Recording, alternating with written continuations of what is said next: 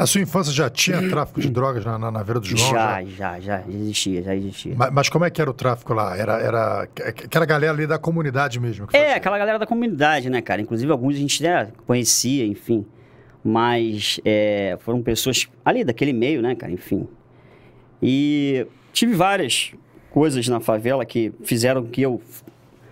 Assim, que as nossas amizades, né, cara? Eu tenho. Até hoje eu tenho colegas que moram naquela região, entendeu? Pessoas que têm um contato, que são pessoas trabalhadoras, entendeu? Inclusive, Marielle era minha vizinha. Marielle era minha vizinha, é isso mesmo. Marielle Franco, a Marielle vereadora. Franco, vereadora. Sim, era minha vizinha. E assim, era uma pessoa muito gente boa. A família dela, se eu não me engano, a mãe, Marilene, parece, o pai, eram pessoas trabalhadoras, eram pessoas honestas, entendeu? E assim, é. Mas ela era muito mais nova, vocês batiam com idade? A, idade Tinha mais ou menos a mesma idade. A gente, inclusive, eu, traba- eu estudava no mesmo colégio que ela. Entendeu? Mesmo colégio que ela. E como é que ela era na- na- ali na. Pessoa, uma pessoa normal, uma, uma, uma criança normal, uma criança adolescente. Naquela época já éramos adolescentes, já quase chegando na fase adulta. Normal, gente Ela boa. gostava de festa, coisa de baile e tal, ou ela era, ela era tranquilona? Assim? No- nessa parte eu realmente não lembro. Tu Não estudou com ela, ela É, se dedicava, sempre buscava. Tu achava, tu era o tipo de, de, de adolescente que tu olhava, a Marielle vai ser a Sim, Marielle sim, Franco. sim, é, sim. Você- talvez. uma característica especial que você lembra dela. Eu, eu era, ela era muito estudiosa. Ela era muito estudiosa, entendeu?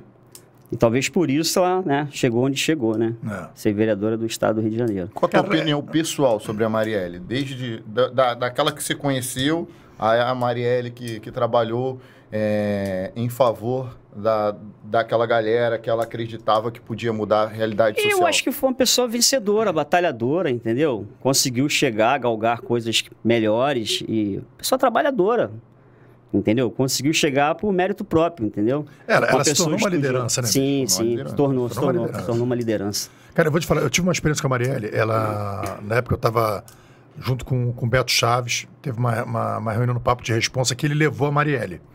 A Marielle foi lá conversar com a gente, palestrar, mostrar, porque o Papo de Responsa fazia muitas palestras pra- na escola. Então ela foi mostrar mais ou menos a visão dela ali, entendeu? Daquilo que ela vivia e tudo, né? E chegou um determinado momento que eu entrei num, num- num embate com ela. Por uma questão mesmo assim que eu falava, pô, cara, mas vocês lá desse partido, pô, vocês nunca estão do nosso lado. Isso foi em 2016.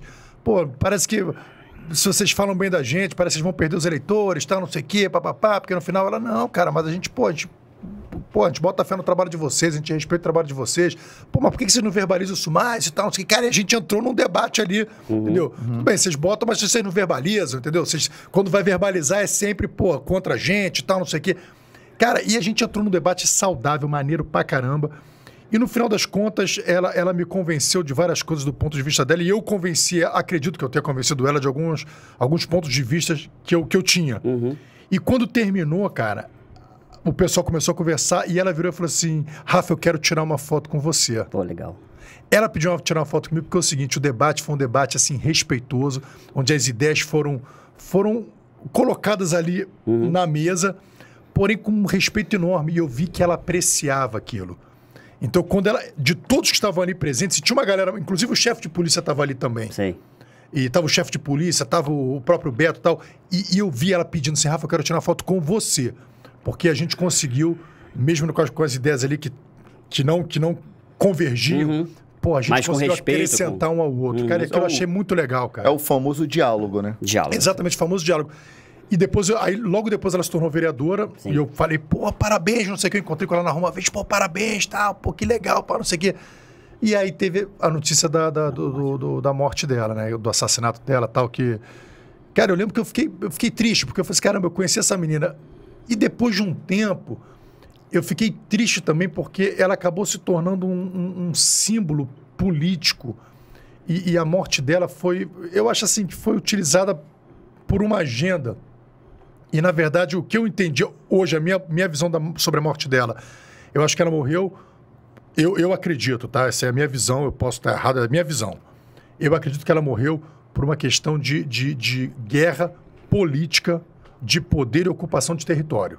Sim. Ou seja, ela como vereadora começou a ocupar determinados territórios. Uhum. Acredito que tenha desagradado outros grupos que... Eu estou dizendo ocupando território assim de ganhando voto, ganhando relevância, ganhando importância. E outros grupos ficaram ali enciumados e mataram ela por causa disso. Por causa de questão política, territorial, poder político.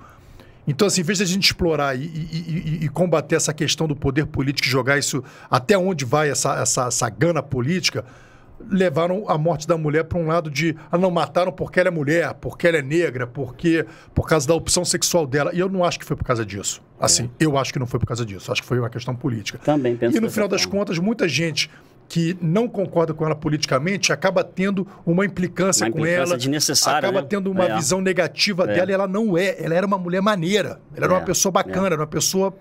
Eu, eu a reencontrei depois de muitos anos. Eu já não morava mais na comunidade. Eu reencontrei em Copacabana, numa passeata. Eu até estava de serviço nesse dia. A gente conversou assim uma coisa muito rápida, foi um diálogo muito rápido. E assim, a gente bateu aquele papinho, né, aquela coisa e tal, mas não cheguei a ter mais contato assim como você teve, entendeu? Mas também com a Duna da mesma coisa que você fala, essa, essa coisa de tarem, utilizarem tanto né, a morte dela politicamente, enfim, Uma questão identitária, né? A Isso. morte dela tem uma causa identitária. identitária, justamente, é. É.